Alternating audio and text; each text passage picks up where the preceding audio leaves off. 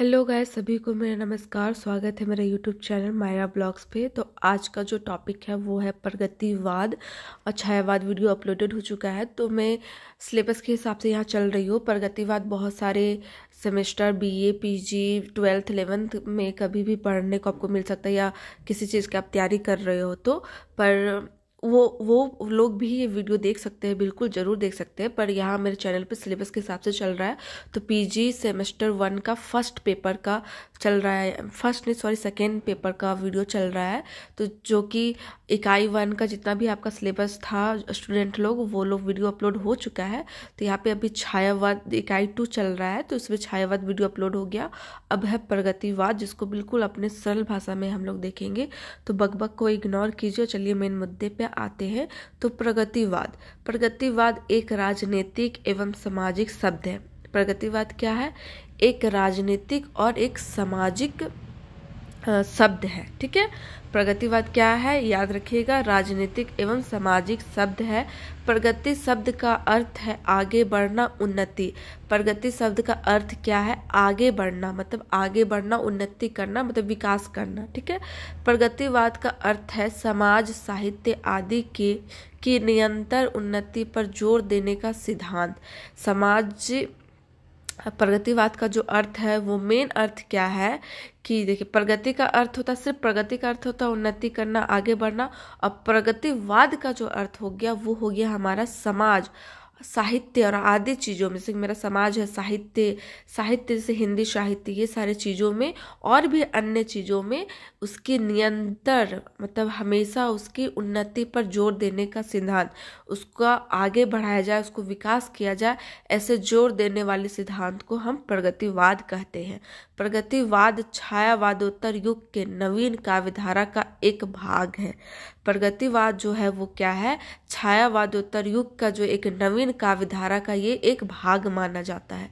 फिर या उन विचारधाराओं एवं आंदोलनों के संदर्भ में प्रयुक्त किया जाता है, जो आर्थिक एवं सामाजिक नीतियों में परिवर्तन या सुधार के पक्षधर है। मेरा थोड़ा आवाज़ आप लोग इग्नोर कीजिएगा प्लीज़ बहुत तबीयत ख़राब है, मेरा बहुत सर्दी हो गया, इसलिए थोड़ा सा गला बैठ जाता है। तो चलिए हटाइए इसको।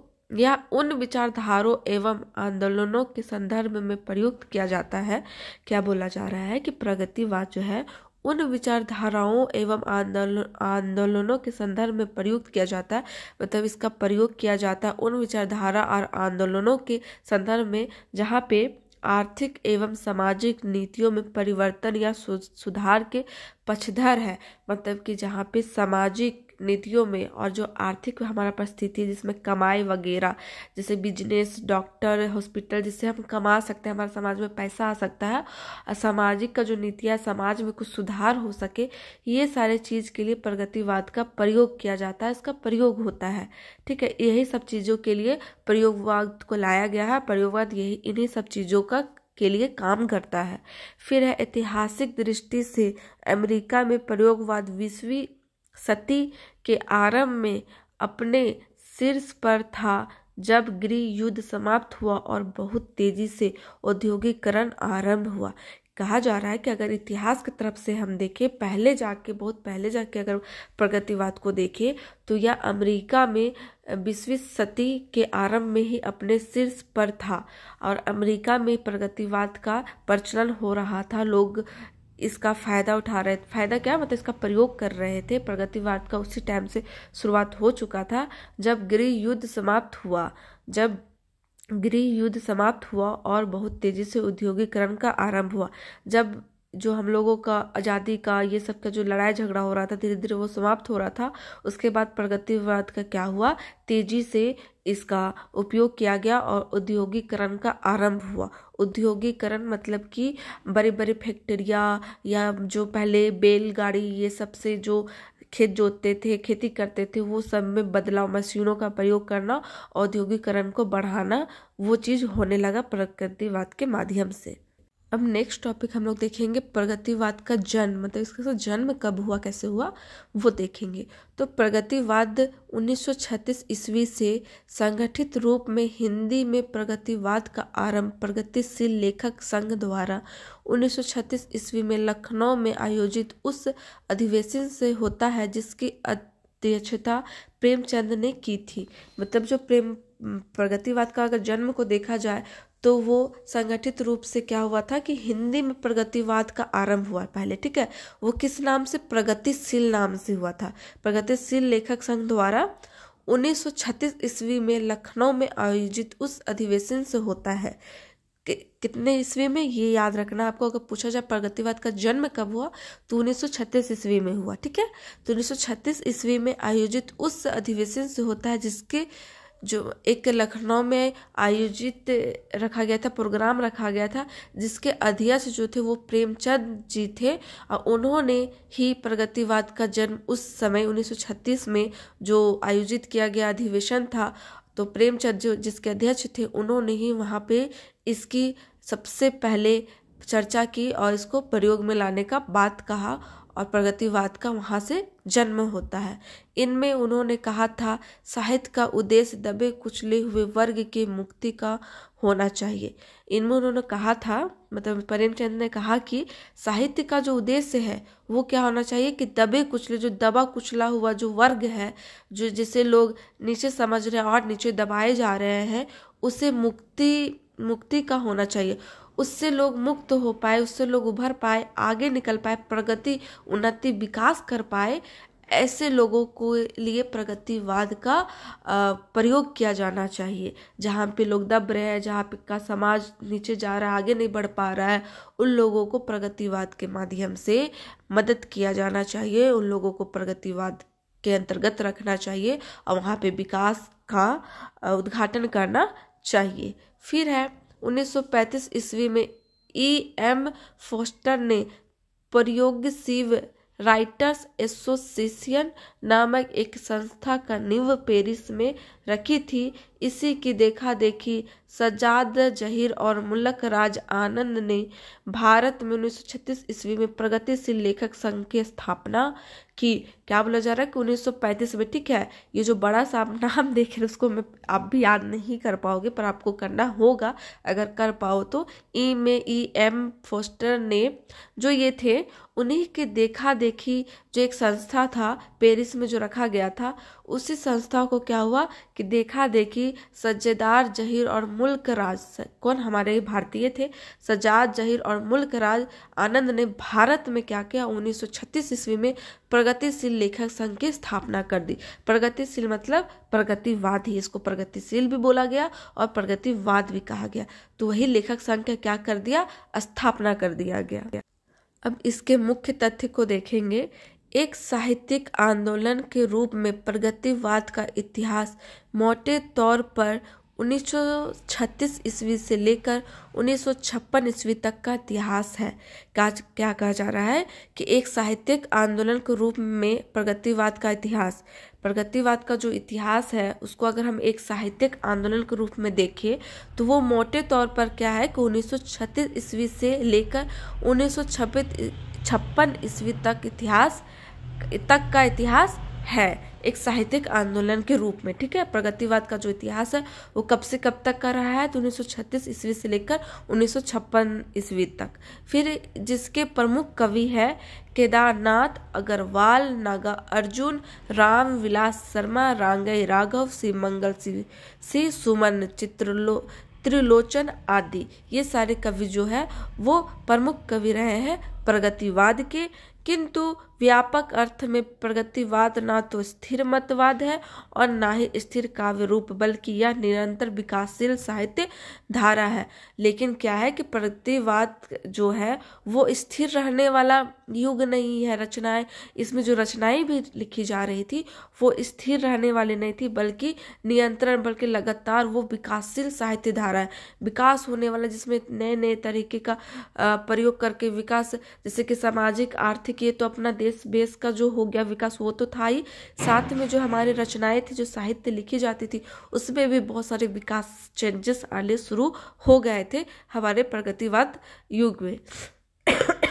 फिर है, प्रगतिवाद के विकास में अपना योगदान देने वाले पर्वती कवियों में केदारनाथ, सिंह, धूमिल कुमार, विमल, अरुण, कमल, राजेश जोशी आदि के नाम उल्लेखनीय है। प्रगतिवाद के अगर विकास प्रगतिवाद को भी अगर कोई विकास आगे बढ़ाए, इसके बारे में लोग ज़्यादा बातें फैलाए, लोग इसमें ज़्यादा योगदान दिए तो जो प्रमुख कुछ कवि थे वो थे पर्वती और केदारनाथ सिंह धूमिल कुमार, विमल अरुण, कमल राजेश जोशी आदि के नाम उल्लेखनीय और भी होंगे, पर ये सारे प्रमुख हैं। फिर है, प्रगतिवाद काव्य का मूलाधार, मार्क्सवादी दर्शन है। पर यह मार्क्सवाद का साहित्यिक रूपांतर मात्र नहीं है। प्रगतिवाद आंदोलन की पहचान जीवन और जगत जगत के प्रति नए दृष्टिकोण में निहित है। यह नया दृष्टिकोण था। मतलब जो प्रगतिवाद आंदोलन की जो पहचान है, वो क्या है? जीवन और जगत। मतलब आप जो जी रहे हैं वो और ये जो संसार है, ये जो जगत है, उसके प्रति नए दृष्टिकोण मतलब उसके प्रति क्या? नए दृष्टिकोण, नया नया ज़रिए से, नया दृश्य से हम जो देखे नया इसमें क्या बदलाव ला सकते हैं, नया आगे जो हम बढ़ सकते हैं, वो निहित है, या नया दृष्टिकोण था, या नया नया सब कुछ देखने वाला दृश्य था प्रगतिवाद, जिसमें कुछ ऐसे निम्नलिखित पॉइंट मेन मेन पॉइंट देखे समझाया गया है।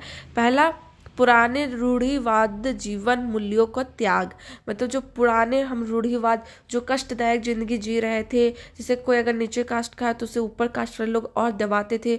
और जो हम गरीबी में ही ज़िंदगी व्यतीत कर रहे थे बहुत कोई लोग, और अंग्रेज़ों के द्वारा जो हम बहुत पीसे गए थे, हर किसान को जैसे तड़पाया जा रहा था जो अपना राजा, महाराजा है, उन लोग को ज़िंदगी तो ठीक ही चल रही थी, पर जो आम जनता थी, उनकी ज़िंदगी बहुत ही कष्टनायक थी। ये सारे और जो परंपरा हम पुराने ज़माने की जो परंपरा, संस्कृति लेके चल रहे थे, मन में बैठाए हुए कि नहीं, मेरे ये पूर्वज की है तो हमको भी वही करना है। ये सारे चीज़ों को क्या हो रहा था, प्रगतिवाद में त्याग करना शुरू कर रहे थे लोग। इसका त्याग करने के बारे में सोच रहे थे, जान रहे थे। फिर अध्या आध्यात्मिक व रहस्यात्मक अवधारणों के स्थान पर लोक आधारित अवधारणों को मानना। मतलब जो पहले का जो आध्यात्मिक लोग थे, रहस्य, जो रहस्य रहस्य को जो पहले बताया जाता था, जैसे कि अंधविश्वास आप ले लीजिए। एक तरह से जो लोग चलते थे कि पहले का लोग ये ऐसे करने से ऐसे होता था, वो वो, उसी बात पे जो घिसे पिटे बातों पे ही लोग अपना मान्यता को मान के चल रहे थे, वो सारी चीज़ को हटा के लोक आधारित अवधारणाओं को मानना। मतलब लोग, लोगों के द्वारा जो मान्यता ज़्यादा दी जाए कि ये चीज़ सही है, ये चीज़ मुझे करना चाहिए, वो चीज़ों को ज़्यादा आदमी मानने लगे। फिर हर तरह के शोषण और दमन का विरोध। फिर से हर तरह का शोषण और दमन का विरोध होने लगा प्रगतिवाद में। जैसे कि किसी भी महिलाएँ को, उठा के ले जाता था जिसमें घूंघट प्रथा भी आ गया था। लोग मुँह छुपा के औरत लोग चलने लगी थी ताकि उस पर कोई बुरी नज़र ना डाल पाए। रासलीलाएँ होती थी। फिर गरीबों लोगों को जैसे शोषण किया जाता था। मतलब जितने तरह का भी जो शोषण थे कुरता थे जो खराब चीज़ें थे उन चीज़ों का क्या हुआ? दमन का विरोध हुआ। मतलब उन चीज़ों को ख़त्म करने का विरोध किया गया। जैसे कि सती प्रथा भी था, अगर पति मर गया तो आपको पति के साथ भी लेडीज़ को मर जाना, ये सारी चीज़ का क्या हुआ कि विरोध किया गया। फिर है, धर्म, लिंग, नस्ल, भाषा, क्षेत्र पर आघृत गैर बराबरी का विरोध। मतलब कि जो धर्म और लिंग जो धर्म धर्म में जो होती थी कि अगर मुस्लिम, हिंदू, ये सब जो लड़ाइयाँ वगैरह भेद किए जाते थे, और अगर स्त्री है, पुरुष है तो स्त्री है तो घर में रहेगी, पुरुष है तो बाहर काम करेगा घर का नहीं कर सकता। ये सारी जो मान्यता थी, और जो भाषा आपको यही भाषा का प्रयोग करना, आप कोई और भाषा नहीं बोल सकते हैं, फिर क्षेत्र का भी, आप अच्छे क्षेत्र में रहते हैं तो आपको वैल्यू मिलेगा, आप खराब क्षेत्र में रहते तो कम वैल्यू मिलेगा। ये सारी चीज़ों को क्या हुआ कि इसके लोग विरोध करने लगे और बराबरी की मांग करने लगे कि हम एक समान है, सारे लोग नीचे जात के चाहे ऊपर जात, चाहे धर्म जैसे भी है, पर हम सब इंसान एक ही है। वो चीज़ के यहाँ मान्यता होने लगी। फिर है स्वतंत्रता, समानता तथा लोकतंत्र में विश्वास। मतलब कि अपने आज़ादी में और फिर समानता कि हम एक समान हैं और लोकतंत्र में विश्वास, जो हमारा संविधान है, जिसमें सारी चीज़ को बताया गया है कि हम लोकतंत्र है अगर हम किसी का किसी को हम मुख्यमंत्री या समाज का भी मुखिया बनाना चाहते हैं तो जिस जैसे कि लोग में लोगों में ज़्यादा जिसके प्रति मतभेद हो मतलब कि ज़्यादा वोट देंगे जिसको हम बनाना चाहेंगे वही बन सकता है। अपने मन से कोई भी आ, कुछ भी नहीं बन सकता है। ये सारे चीज़ों पे लोगों का विश्वास होना शुरू हो गया। तो ये था हमारा प्यारा सा टॉपिक प्रगतिवाद। जो कि कोशिश करती हूँ आप लोगों को बहुत अच्छे से समझ में आया होगा। अगर थोड़ा बहुत चूक रह गई होगी तो कमेंट सेक्शन में ज़रूर बताइए ताकि मैं नेक्स्ट वीडियो में वो चीज़ सुधार कर पाऊँ। और थोड़ा सा मेरा बहुत तबीयत ख़राब है सर्दी खांसी है तो आवाज़ भी प्रॉब्लम हो रहा है, बोलने में भी प्रॉब्लम हो रहा है मुझे। फिर भी एग्ज़ाम चल रहा था तो मैं वीडियो बनाना ज़रूरी समझी, क्योंकि कमेंट आ रहा था मुझे। और नेक्स्ट टॉपिक के, किस टॉपिक पे आपको वीडियो चाहिए, वो भी कमेंट सेक्शन में बताइए। मेरे चैनल पर नए हैं तो सब्सक्राइब ज़रूर कीजिए, और प्यारा प्यारा कमेंट कीजिए। फिर मिलते हैं नेक्स्ट वीडियो में, तब तक के लिए सभी को bye and best of luck